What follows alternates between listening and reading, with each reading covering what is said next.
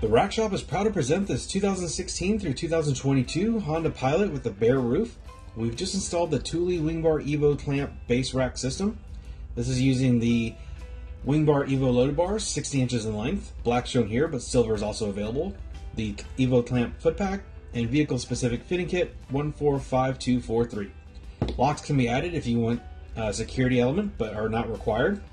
Overall, you have a crossbar spacing of 27.5 inches center to center, and a weight carrying capacity of 165 pounds evenly distributed. So, a great alternative if you don't have the factory uh, flush side rails. So, a great rack for cargo, bikes, kayaks, pretty much you name it. But, anyways, it's been a quick walk around for this vehicle. For more details, pictures, or to purchase this complete system with a couple clicks, please visit the link in the description below. So, that's going to be it for this one. But like always, thanks for watching.